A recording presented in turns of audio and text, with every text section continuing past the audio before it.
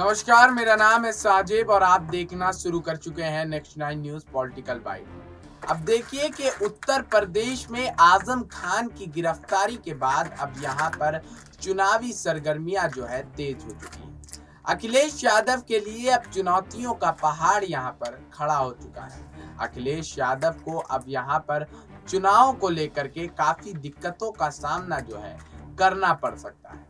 अखिलेश यादव के सामने पहली चुनौती जो है वो मैनपुरी सीट को लेकर के।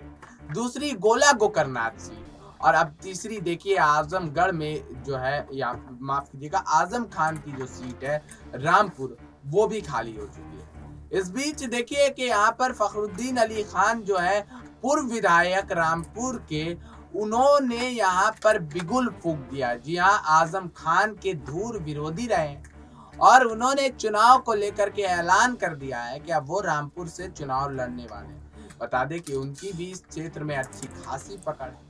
जिस तरीके से आज़म खान की यहाँ पर गिरफ्तारी हुई और उसके बाद सतीश महाना ने उनकी जो विधानसभा की सदस्यता है, वो रद्द कर दी। उसके बाद देखिए कि चुनावी सरगर्मियाँ काफ़ी ज़्यादा तेज हो गई है। सियासत उत्तर प्रदेश में गर्म हो चुकी है।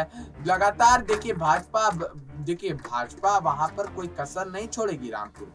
अगर अखिलेश यादव को वहाँ पर भाजपा हराने के लिए तमाम जतन करेगी ये बात भी तय है।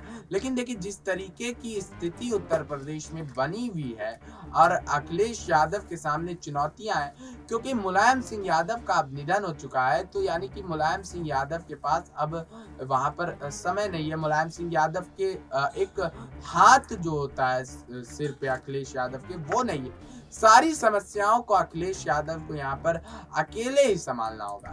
ये एक काफ़ी बड़ी ज़िम्मेदारी अखिलेश यादव के ऊपर अभी आ गई है। और आज़म खान की गिरफ्तारी के बाद कहीं ना कहीं सपा और अखिलेश यादव को बड़ा झटका लगा। तो फ़िलहाल इस रिपोर्ट पे इतना ही। तब तक के लिए बने रहिए और देखते रहिए नेक्स्ट नाइन न्यूज़ पॉलिटिकल